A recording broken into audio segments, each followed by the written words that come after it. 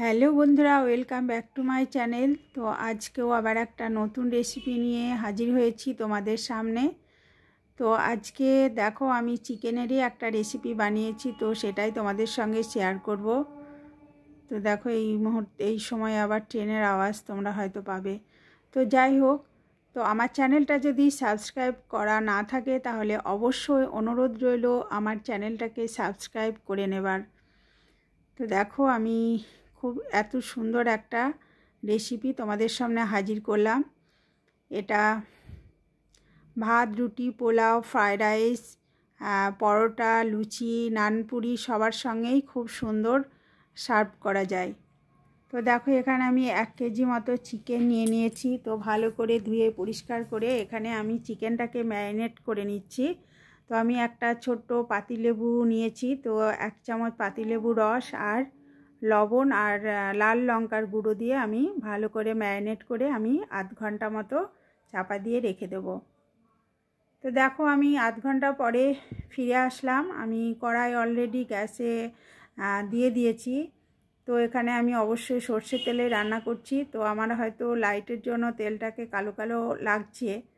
তো যাই হোক, তো দেখো আমি কম তেলে রান্না করব। তবে রান্নাটা আর একটু তেল দিলে হয়তো ভালো হতো। কিন্তু তেলটা আমি কমই দিচ্ছি।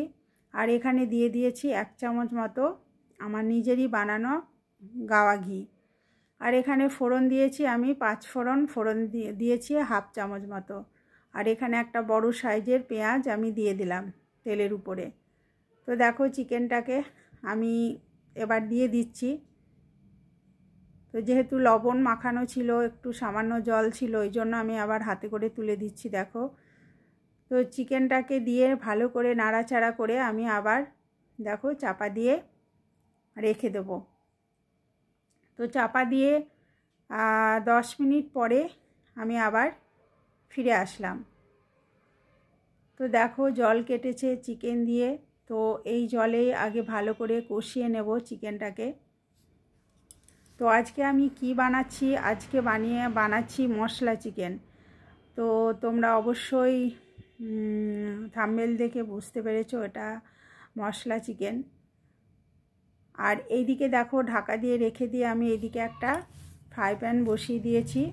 তো এখানে আমি চিকেনে যে মশলাগুলো দেব সেগুলো আমি এখানে ভেজে নেব আগে মানে গোটা মশলাগুলো। তো দেখো একটা তেজপাতা দু টুকরো করে দিয়ে দিলাম, আর এখানে তিনটে শুকনো লঙ্কা, কাঁচা লঙ্কা, পেঁয়াজ, আদা, রসুন দুটো টমেটো দিয়েছি এখানে। আর গোটা জিরে, গোটা ধনে আর দিয়েছি চার পাঁচটা মতো কাজু বাদাম। আর এখানে দিয়ে দিলাম শাহি গরম মশলা। তো ওদিকে মশলাটা ভেজে নিয়ে আমি পিষে নিয়েছি। আর এই দেখো মশলা, শাহি গরম মশলাটা দিয়ে আবারও চাপা দিয়ে রেখে দিয়েছিলাম। জলটা একদম শুকিয়ে গেছে। তো দেখো মোটামুটি আমার চিকেনটা কষানো হয়ে গেছে। আর এটা মশলা চিকেনটা আমি আলু ছাড়াই বানাচ্ছি। তো দেখো, এই অবস্থায় আমি এবার ভাজা গোটা মশলাটা মিক্সিতে পিষে, দেখো আমি দিয়ে দিয়েছি। তো মিক্সির বাটিটা ধুয়ে অল্প এখানে জলও দিয়ে দিলাম। তো আবারও চিকেনটাকে ভালো করে ঢাকা চাপা দিয়ে ভালো করে আমি আবারও কষিয়ে নেব। তো দেখো, চাপা দিয়ে আবারও দু মিনিট পরে ফিরে এসেছি।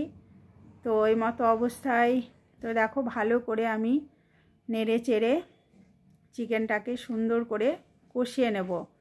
তো যেহেতু মশলাটা আগে থেকে হাফ ভাজা ছিল, তো তারপরে দেখো আমার মোটামুটি কষানো হয়ে গেছে। আর এখানে যেহেতু গোটা জিরে আর গোটা ধনে দিয়েছিলাম, তো ওইগুলো তো একসঙ্গে দিয়েছি। ভালো তো মিহি করে পেশা হয়নি মানে গোটা গোটা ছিল সামান্য। তো ওই টেস্টটাই কিন্তু খুব সুন্দর মানে দারুণ একটা টেস্ট এসেছিল। তো দেখো, এখানে আমি উপর থেকে আমি গরম জল দিয়ে দিলাম। তো অবশ্যই চিকেনটাতে অবশ্য মানে রান্না, যে কোনো রান্না গরম জল ইউজ করলে তো টেস্ট দ্বিগুণ বেড়ে যায়, আমরা সকলেই জানি। তো দেখো, আমি এখানে গরম জল দিয়ে দিয়েছি। তো আবারও মনে হচ্ছে আমার গ্রেভিটা একদমই হয়তো শুকিয়ে যাবে। তো আবারও আমি হালকা করে আরেকটু গরম জল দিয়ে দেব। তো তারপরে দেখো পাঁচ মিনিট ফুটে উঠলেই আমার রান্নাটা কিন্তু রেডি হয়ে যাবে। তো দেখো সত্যি আমাকে আর একটু জল অ্যাড করতে হবে। তো আবারও আমি এখানে হাফ কাপ মতো গরম জল দিয়ে দিলাম। তো তারপরে দেখো আবারও দু মিনিট মানে ফুটে উঠলেই ওপর থেকে ধনে পাতা ছড়িয়ে দিলেই আমার মশলা চিকেন রেডি আর মানে হয়ে যাবার পরে দু মিনিট স্ট্যান্ডিং গ্যাস অফ করে স্ট্যান্ডিং আছে রেখে, চাপা দিয়ে রেখে তারপরে পরিবেশন করতে হবে। তো অবশ্যই তোমরা ভালো থাকবে, সুস্থ থাকবে আর সব সময় হাসি খুশি থাকবে।